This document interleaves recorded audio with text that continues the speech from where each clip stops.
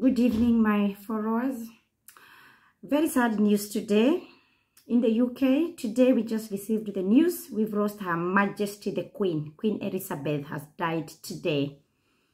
It's such a sad day for the UK.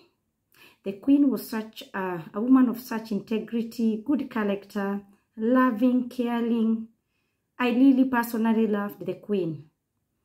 All day, um, the media have been uh, talking about the queen so we kind of suspected we're gonna be getting sad news this evening.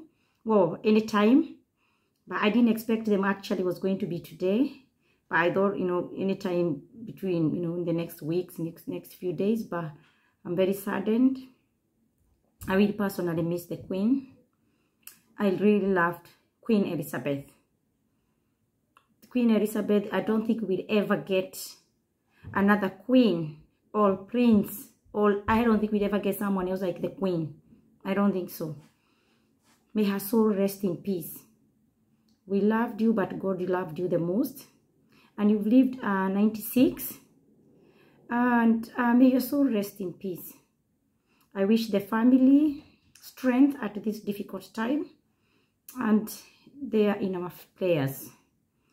Uh, all day, the family have been traveling or going to Balmoral. Harry and Meghan, uh, they are already here. So we knew things were not looking good. But we have to accept the news as they are, as hard as they are, that our queen has died. We'll never see the queen's speech. It's sad, it's sad. My little one loved the queen, even though she had never, she has never met the queen, because she watches her on the TV and she's quite um, surprised and shocked.